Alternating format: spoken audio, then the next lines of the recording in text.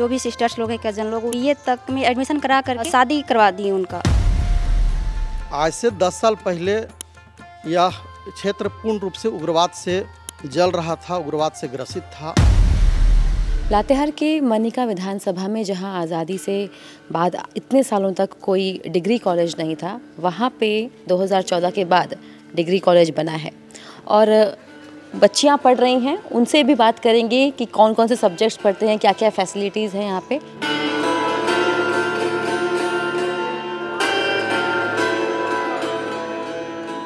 अब जो degree college बना है बच्चे पढ़ रहे हैं उसके बारे में क्या बोलोगे? कितना ज़रूरी है पढ़ना बहुत ज़रूरी है। पढ़ाई करना और ये डिग्री कॉलेज बन गया है पास में ही ज़्यादा दूर नहीं है।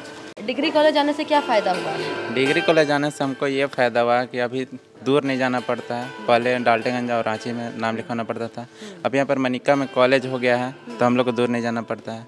अगर ये डिग्री कॉलेज नहीं होता कितनी दूर जाना होता पढ़ाई करने के लिए?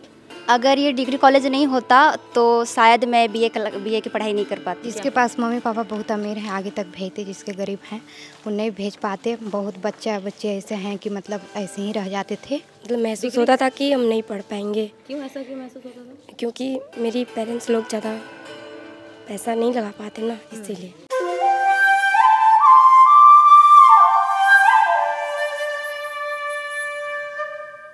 कितना लोग जागरूक हैं इसके बारे में? कितने लोगों को पता है बेटी बचाओ बेटी पढ़ाओ? ऐसे तो सभी लोग जानते हैं क्योंकि भी ये हर जगह लिखा हुआ रहता है पोस्टर में भी कई गाड़ियों में भी लिखा हुआ रहता है बेटी पढ़ाओ बेटी बचाओ। पहले के तुलना में आप देख सकते हैं गाँव में भी बच्चियाँ आप जाती हैं स्कूल पहले उतना पेरेंट्स नहीं भेजते थे। मेरे घर की बता रही हूँ मेरी जो भी सिस्टर्स लोग हैं कज़न लोग उतना ये बीए तक में एडमिशन करा करके शादी करवा दी उनका। कहाँ तक पढ़ाई करते थे लड़कियाँ पहले?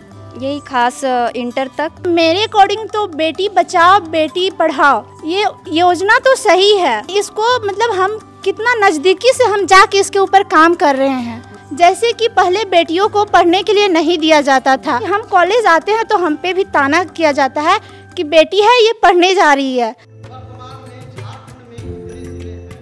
छात्र मेहनत कर रहा है पेपर लीक हो रहा है आप पे कितना बड़ा बड़ा प्रभाव पड़ता है? इससे हमारा मनोबल घट जाता है बार बार तैयारी करके फिर पेरेंट्स भी बोलते हैं घर में कि क्या हो रहा है तुम इतना तैयारी कर रहे हो इतना पैसा भी खर्च कर रहे हो तुम्हारे पीछे कुछ हो नहीं रहा है बार बार पेपर लीक हो रहा है। हमारे जो स्टेट के जो हमारे मुख्यमंत्री हैं उनको भी ध्यान देना चाहिए कि बच्चों के साथ ये नाइंसाफ़ी ना हो। बच्चे बहुत ही लगन से मेहनत मेहनत करते हैं और एग्ज़ाम देते हैं। उनके पीछे पेरेंट्स का बहुत ही योगदान होता है। किन्हीं किन्हीं का तो ये अपना खेत बाड़ी दाव पर लगा कर बच्चे ये सब की तैयारी करने में लगे होते हैं। फिर भी पेपर लीक हो जाता है। आप अगर एजुकेशन पॉइंट ऑफ़ व्यू से देखें तो कितना सुधार आया है पिछले दस सालों में? जहाँ तक लातेहार का परिप्रेक्ष्य है आज से 10 साल पहले यह क्षेत्र पूर्ण रूप से उग्रवाद से जल रहा था, उग्रवाद से ग्रसित था।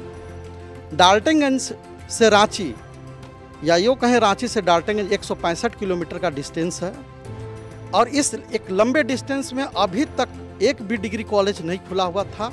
ये पहला डिग्री कॉलेज है, जो कि डिग्री कॉलेज मनिका खुला। 2018 से यहाँ उच्च शिक्षा में एक बेहतर शिक्षा का अलग छात्रों को दिया जा रहा है। प्रधानमंत्री बेटी बचाओ बेटी पढ़ाओ की बात भी करते हैं। लड़कियाँ पढ़ने लग गई हैं है ना? रोड कनेक्टिविटी भी अच्छी है तो दूर दूर से पढ़ने के लिए जी, जी, जी। कितना ज़रूरी जब से यहाँ योगदान किया हूँ तब से मैं ऐसा महसूस करता हूँ कि यहाँ पर 90 परसेंट बच्चियाँ ही पढ़ती हैं। इस क्षेत्र में बच्चियाँ काफ़ी जागरूक हैं पढ़ाई के प्रति उच्च शिक्षा के प्रति। इससे पहले नक्सल एक्टिविटी बहुत ज़्यादा हुआ करती जी, थी। तो जी। जो बच्चियाँ दूर दूर से आ रही हैं जी। तो स्पेसिफिकली ट्राइबल बच्चियाँ तो क्या वो पढ़ने के लिए कभी सोचा होगा कि पढ़ने जाएँगी? 2015 का पहले जो नक्सल गतिविधि थी उस परिस्थितियों में यहाँ पढ़ाई लिखाई बड़ा मुश्किल था। लेकिन 18 15 18 के बाद आज के डेट में नक्सल गतिविधि थोड़ा कम हो चुका है कम क्या समाप्ति हो चुका है लगभग। और इस स्थिति में पढ़ाई लिखाई बड़ा सुचारू रूप से यहाँ चल रहा है।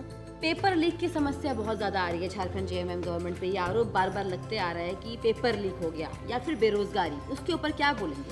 पेपर लीक एक गंभीर समस्या है। छात्र सालों भर स्टडी करते हैं और यह पेपर लीक होता है तो बहुत उन्हें घुटन महसूस होता है, उनकी सारी तैयारी धरी की धरी रह जाती है और छात्र अपने मुकाम को प्राप्त नहीं कर पाते हैं। गार्जियन को भी काफ़ी कठिनाइयाँ होती है और छात्र काफ़ी मायूस हो जाते हैं, उससे काफ़ी नाराज़गी है छात्रों को कि पेपर लीक हमेशा हो जाती है और हम अपने सफलता को प्राप्त नहीं कर पाते।